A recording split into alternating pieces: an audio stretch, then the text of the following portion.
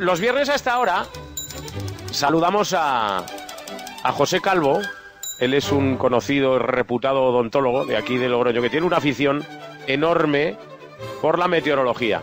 Y, a mí me gusta llamarle todos los viernes para preguntarle por el tiempo que vamos a tener el, el fin de semana y también que nos avance un poquito eh, el, el tiempo de la semana que viene.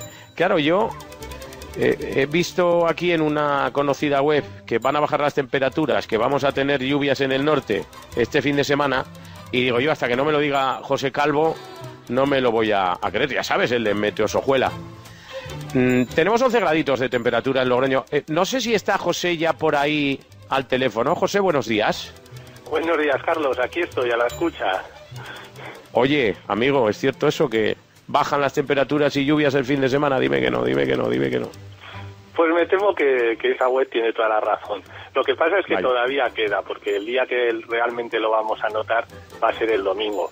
Durante hoy viernes y el sábado todavía seguimos con esta situación que ha sido muy suave, ha sido muy templada esta semana, porque hay una borrasca en el Atlántico que está favoreciendo la llegada de estos vientos cálidos del sur, del suroeste. Lo que pasa es que vienen acompañados de frentes que están dejando pues estos cielos así nubosos eh, con algunos claros cuando, cuando pasa el, el frente y algunas precipitaciones que además ya empiezan a tener carácter tormentoso. Ya son chubascos que de repente cae, se desploma, después sale el sol.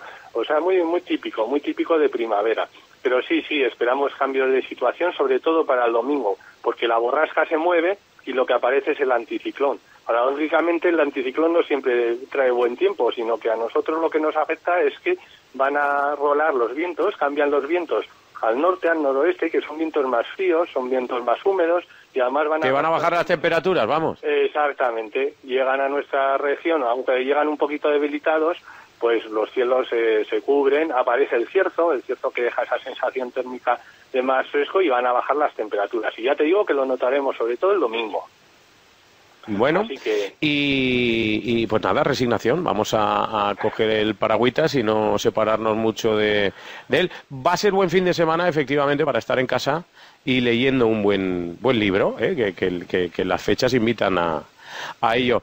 El mes de mayo pinta bien, que lo tenemos ahí a la vuelta de la esquina.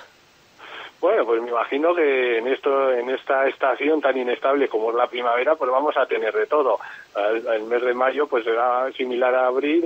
Iremos notando que nos acercamos al verano, y iremos notando que subirán las temperaturas, pero seguro que alguna entrada de aire frío, pues, pues vamos a tener. Típico de, de mayo. Yo incluso recuerdo algún 1 de mayo ver nevar por la zona de Sojuela, que está solo a 800 metros. Pero bueno, el tiempo es primaveral y así parece que se va a mantener.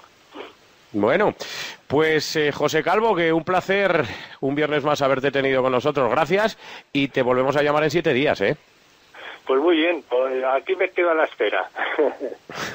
un abrazo, amigo. Carlos, un abrazo muy fuerte. Adiós. Adiós, adiós, buenos días.